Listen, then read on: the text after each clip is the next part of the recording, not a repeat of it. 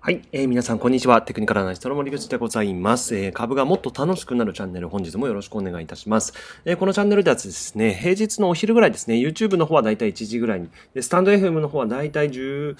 時前後ぐらいに、まあ、いつも配信をしてるんで、えー、よかったらね、えー、メインチャンネルの方と合わせて、えー、ご覧いただけるといいかななんて思って配信を続けております。今日もよろしくお願いします。で、今日はね、短期間で急上昇する株の3つのポイントということでね、ちょっとおさらいしておきたいと思うんですが、これ何かというとですね、えー、僕の悔しい実体験があるんで、これまずちょっと聞いてください。で、それを、まあ、ポイントとしてまとめた上で、次は絶対ゲットするぞという気持ちを込めてね、やっていきますんで、ぜひよろしくお願いいたします。で、この悔しい体験とは何かってことなんですけども、株はでこのイメージ1、2667イメージ1という株ですね、になっています。で、どんなことやってるかっていうと、この衛星画像の販売が起点みたいな感じでね、まあ、僕はあのドローン関連株として結構ね、購入を検討したことがあって、まあ、実際に買って持ってたんですけども、で、今回なぜ上がったかというと、この汚染水除去技術とですね、この福島原発の汚水処理問題関連ですね、の関連銘柄にこう急に入ってきてですね、まあ、一気にふわーっとこう株価が上がっていたという感じですね。で、この関連銘柄として株価が1週間で2倍以上に上がっていた、まさに爆投なんですけども、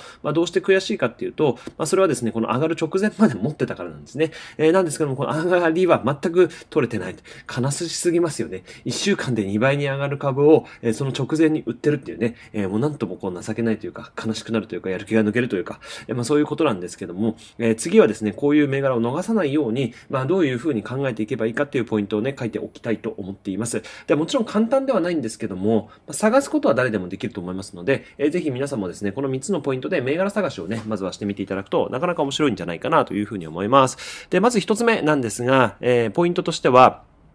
時価総額が小さいことですね。で、なんで、まあ、時価総額が小さい方がいいかっていうことなんですけども、あの、流動性の高い、まあ、時価総額の大きい銘柄にですね、まあ、どんなにサプライズが加わったとしても、1週間で2倍に上がるってことはなかなかないんですけども、やっぱちっちゃい株、で、流動性が低い株っていうのは、普通にこういうことがね、まあ、もう日常茶飯事のように株式市場では起こっているんですね。で、9等前のイメージ1の株が時価総額っていうのはやっぱ53.5億円ということで、やっぱちっちゃかったんですね。イメージ、これで言うと100億円以下ぐらいが、まあ、理想かなというというふうに思います。で、この前で50億円ぐらいでしたので、まあ、かなりね、上がりやすい、まあ、なんか材料さえあれば上がりやすいような、そういう株であったっていうところはね、ぜひ押さえておいてください。で、二つ目のポイントは定位株っていうところですね。定位株っていうのは、一株の値段が小さいという意味で、まあ、1000円を切っているような株が望ましいと思っています。まあ、3桁円のやつですね。2桁円のやつも、まあ、悪くはないんですけども、2桁円のやつってなんかまた、えー、ちょっとね、こう、なんか、なんかそれなりの理由があるので、まあ、できれば100円以上、200円、300円とかの方がいいのかなと思います。で、なんで定位株がいいかっていうと、株の世界ではね、この予備値の単位っていうのが決まってます。予備値っていうのは何円単位で動きますかっていうことですね。A が決まってるんですけども、まあ、そのその他の銘柄、トピックス100構成銘柄以外のその他の銘柄っていうのが、まあ、ほぼほぼこれに入ると思うんですけども、で、3000円以下の銘柄っていうのは全部1円単位で動くんですよね。1円単位で動くっていうのはね、まあ、皆さんもご存知かと思います。で、3000円ぐらいの株が1円単位で動くのと、100円の株が1円単位で動くのだと、全然その1円の株価に対する割合が全然違うなっていうことはなんとなくわかりますかね？非常にこう、ウェイトが大きいですよね。100円に対して1円動くってことは1%動いてるってことだけども、3000円に対して1円動くっていうのは全然1%未満じゃないですか。0.1%未満ですよね。えー、なんで、まあ、全然その1円のインパクトっていうのが、やっぱ株価自身が小さい方が割合が大きいんだよっていうところですね。だから実際に定位株が、まあ、上がり始めた時に急上昇しやすいっていう感じにはなってきます。こう、上がりやすいという感じですね。になってて、で、実際にイメージ1の場合には、株価急騰前で見ても650円円とか600円台ぐらいで推移していたので、まあまあ定位株の推移には、あの、入ってくるんではないかなというふうに思います。そして3つ目のポイントはですね、長期で見て底値付近ですね。まあ、長期チャートをしっかりと見ていただいて、これ週足5年なんですけども、まあ、この辺でも結構上下はしてますけども、だいたい500円からまあ1000いかないぐらいのところで、えずっと推移していたものがコロナショックで一旦下がって、、でもちゃんと底値を固めてまた上がり始めたっていうことだったんで、まあ、この辺はですね、やっぱりもう買い時だったんじゃないかなというふうに思います。まあ、ちなみに僕はコロナ前に一回この辺で購入していて、で、ぐっと下がってしまって、で、このもう一回取り戻してきたところもう一回買い増しをして、で、この辺で上がってきたところで、ああ、よかった、ほぼトントンだけど、まあまあまあ、こういうこともあるよねって言って、えー、なんかもう本当に美益で、えー、利益確定をしてよかったね、パチパチパチパチって言って、えー、ここ2週間ぐらいですね。えー、なんで、もうね、本当にバカみたいですよね。えー、なってるということでございます。ございます。で、まあ、それで見た時にもね、えー、この短期急騰前で見ても、やっぱり週足の移動平均線もちゃんと上向いてますし、まあ、全体的に見ても決して高いエリアではなかったので、まあ、この辺で見るっていうのはね、すごく良かったんじゃないかなと思います。で、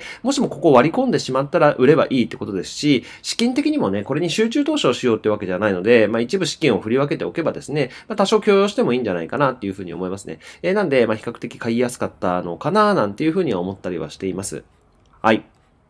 で、この3点に何が加わると急上昇するっていうことなんですが、まあこの3つのポイントすごくシンプルですよね。時価総額がちっちゃくて1000円以下の定位株で長期チャート底値付近にいる銘柄を、まあひとまずは探そうということです。これは、まあ、あくまでも上がりやすい株のベースであるということですね。で、こういった銘柄っていうのはまあ普段地味なんで、あんまり目立たないですよね。もうほんとトヨタとかね、ソフトバンクグループとかファーストリテイリングに比べると話題性は全くないということなんですけども、だからその分だけあまり注目をされていないわけですね。で、この注目をされていないものに対して一気にサプライズが加わると、一気に投資家の注目を浴びて、で、全員の目が向かなくても、前よりもすごく多ければ株価っていうのは上がっていくわけなんですよね。なんで、あえて地味な銘柄にちゃんと目をつけておいて、そのサプライズが加わるか加わらないかみたいなものをね、えー、確認してみていただければと思います。で、サプライズっていうのは何かっていうと、まあ、シンプルに言えば予想されていない出来事のことですね。えー、あ、そうだったんだっていうふうに思う人が多ければ多いほど、株価は変動するっていうことをぜひ覚えておいてください。で、イメージ1の場合には、汚水、汚染水処理の技技術と原発の汚水処理のニュースが重なって、いきなり関連銘柄にこうなったわけですね。関連銘柄として僕も全然イメージ1を原発の汚水処理の問題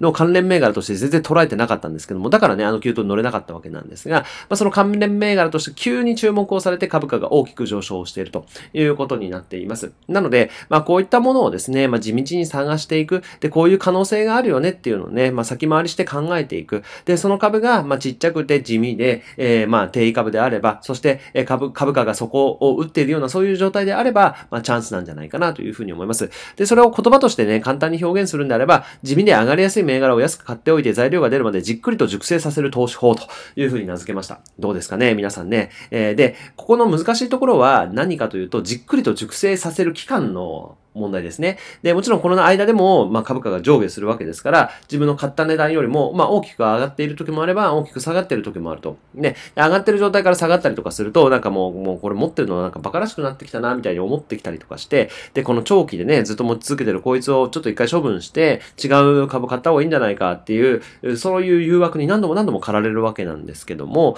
まあ、実際に材料とかが本当にあるんであれば、もちろん全ての銘柄がね、そんな風に上がっていくわけじゃないので、やっぱりここはちゃんと見極めをしていく必要がありますけども、えー、その期間をね、待てるか待てないかっていうのは本当に大きいですよね。えー、なんで、えー、まあ、ちゃんとね、まずテーマ性を持ってるかどうかっていうところと、ちっちゃい株かどうか、定位株かどうか、あとは長期でね、ちゃんと株価がそこを打ってるかどうかっていうのを確認した上で、まあ、じっくりと持てる株っていうのをね、ちゃんと探していくっていうことがすごく重要なんじゃないかなというふうには思います。えー、ぜひですね、まあ、地味なんですけども、時間かかるんですけども、今日買って明日儲かるみたいなそういう話ではないんですけども、ただし、まあ、1週間で2倍以上に上がるっていう、そういうね、えー、可能性もある銘柄に対して、まあ、きちんと分散しておくっていうのはね、非常にまあ合理的な方法だと思いますので、えー、ぜひ皆さんもですね、いろんな銘柄を、まあ、まずは時価総額小さいとかでスクリーニングかけてみると、結構候補上がってくると思いますから、で、それをなるべくこう、一つ一つね、めんどくさいけどね、えー、見ていって、で、こういうね、条件を満たしつつ、で、あとはまあ、財務なんかもね、最悪倒産するってことがないなっていうのが分かった上で、まあ、定位、安定しているような、まあ、そういう株をやって、で、あとはテーマ性が伴いそうかどうかっていうことをね、え確認していただくと、将来のこういう短期